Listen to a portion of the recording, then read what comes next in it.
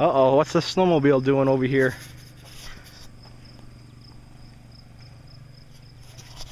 It's early in the morning.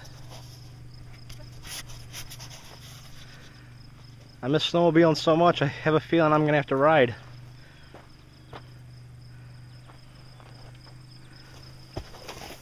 Alright, I'm gonna attempt to do my stunt. Snowmobiling in August 2011.